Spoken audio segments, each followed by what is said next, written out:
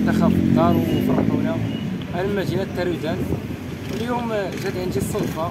نكون في كاين الزرطواني نتلاقى مع ياسين وليا شرف نتلاقى مع ياسين وكنتمنى يلعب في شي فرقة كبيرة بحال البلاصه والرياض.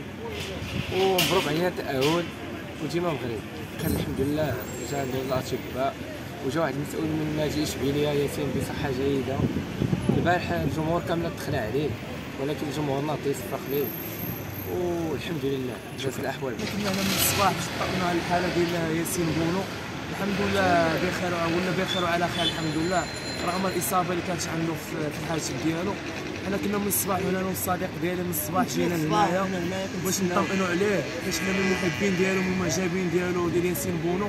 الحمد لله رجع بخير وعلى خير لوالديه ورجع بصفة عامة المغاربه كاملين. رجع لهم بخير وعلى خير. الله يشافيه والله يشافيه إن شاء الله والله يجيب ليه الشفاء والله يعاونه والله يسهل عليه.